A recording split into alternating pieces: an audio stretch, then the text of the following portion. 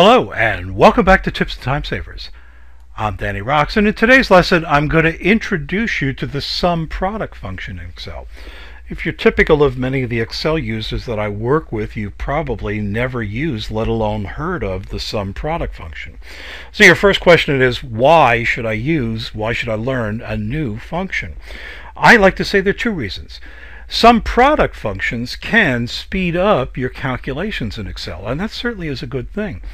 Reason number two, using sum product, you can find that you can trim the fat from your Excel workbook you probably don't have to have as many fields to perform intermediary calculations as you think.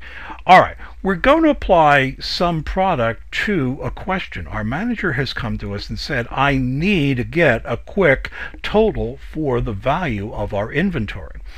So as we look at this scenario, we're going to say, well, I've got the product code over here, I've got the unit cost, I've got the number in stock.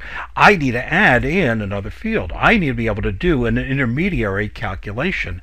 I need to multiply by going, give me the unit cost multiplied by the quantity in stock. Next, I'll copy this down through each of the products and then I'll sum it up. No, no, no. Sum product will perform the calculation in one step. Let's see how this works. Equals sum product. And now let's use Control A to bring up the function arguments dialog box. So you see array. Oh my God, you probably are scared of stiff. An array is nothing to be scared of. An array simply means that we have multiple cells selected in a range. So here's our first array the values for unit cost. Our second array, and notice that we can have up to 255 of them in Excel 2007, will be the values for in stock. Now it's important that you pay attention over here that all arrays, when we use sum product, must have the same dimensions. So you see we've got vertical arrays. We have a vertical array for in stock. It's going down vertically in column C from row 4 through row 14. It matches the shape and the dimensions of the first array. In column B for unit cost, starting at row 4 going down through row 14. Now we click OK and in one calculation we have the total. So we've used sum product and say array number 1 is B4 through B14 and I could have made this even faster if I had applied a name range for the values underneath unit cost. The second array is the uh, values coming from C4 through C14 and I could have made that even faster by creating a name for those values called in stock.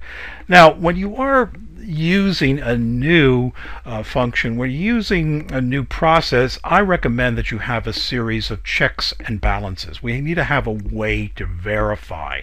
Now remember earlier when I used the asterisk to say equals uh, B4 asterisk for multiplication C4. What I'm going to do over here is I'm going to use the product function. The product function performs multiplication.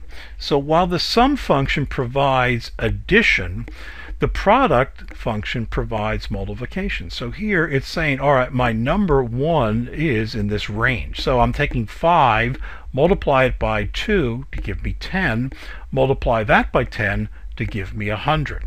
All right, let's come over here and instead of using the asterisk, we'll use product equals product and what I want to do for my first number is I'm just going to uh, point my mouse over there. I'll use the comma. And then for my second number, right parentheses. And there you go. Now let's copy this down. And I've used the sum function. So while I've used the product function to get the multiplication coming across the row, I now use the sum function. But I can save myself these intermediary steps. I can speed up this calculation. I can trim the fat by not having to have in an extra field, an extra column, and get that result quickly using sum product. So what we've done here with the arrays is we've gone through and we say, all right, in these arrays, perform the multiplication first and then do the addition. And there you've seen how to use the sum product function. Now I've decided to break this lesson up into two parts. So in the next lesson I'm going to show you some more sophisticated uses of the sum product function.